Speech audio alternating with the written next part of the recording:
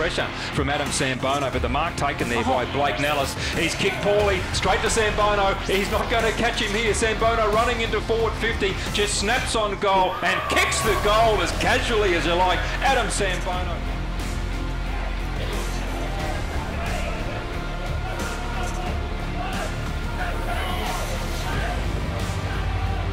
A bit slow on it, gets it away to Tambling.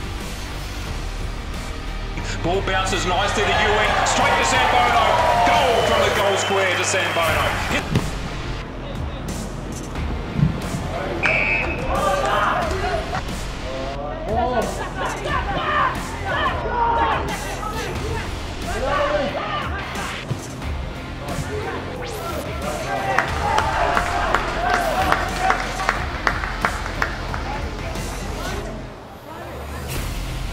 Pursues it again, picks up too quick from 55, has the shot on goal, it'll fall short. Sambono was the man who made the contest. Ball fell, Ewing tapped it back to him. Sambono will kick a goal.